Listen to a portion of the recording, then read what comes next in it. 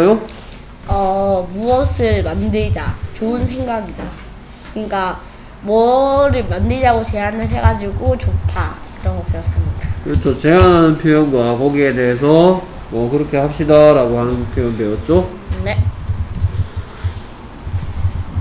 식사도 배웠고 아침 식사도 배웠고 자 식사도 배웠고 쿠키도 배웠고 생각도 배웠고 우리 뭐뭐 하자도 배웠네요.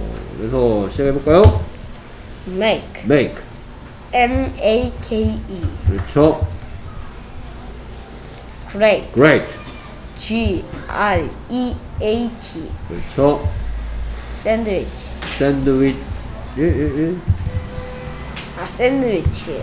샌드위치즈 S A N D W I C H E S 그렇지 샌드위치즈 lunch lunch L U N S I 그 C H 오케이 S하고 C하고 헷갈리나요? 네 아니야 그래서 breakfast breakfast B R E A K F A S T 그렇죠 dinner dinner D I N N 어그 E R 그렇죠 cookie cookie C O O K I E 그렇죠 I idea idea I D E A 그렇죠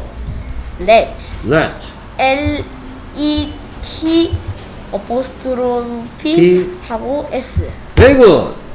어, 단어 오늘 많았고요. 자 그러면 이제 문장들 만나보러 가겠습니다. 네. 뒤에 7 우리 함께 뭘 만들어 봅시다. 라는 문장들입니다. 그래서 Let's make lunch. 그렇죠. Let's make lunch. 오케이. Let make 뜻이 뭐예요? 만들다. 그러면 무슨 시예요? 하다시. 그래서 let 뒤에 무슨 시가 오면? 하다시 나오면. 그러면 같이 뭐뭘 합시다. 우리 갑시다. Let's go. Let's go. Let's go. 우리 뜁시다. Let's run. Let's run. 우리 놉시다. Let's play. 그런 식으로 씁니다. 전부 다 go, make, run. 뭐 make 전부 다 하다십니다. 예. make lunch의 뜻은?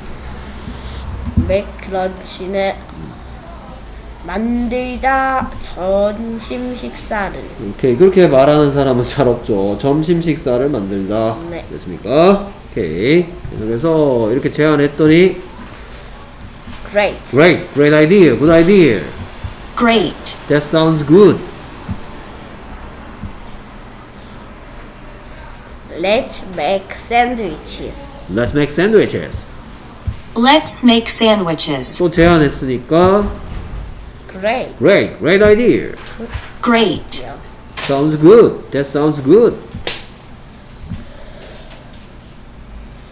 Let's make cookies let's make cookies Let's make cookies. 오케이 그랬더니 Good idea good idea great idea that sounds good Good idea. 오케이 수고했습니다 넵 깔끔하게 말하기 쓰기 모두 100점이네요 잘했습니다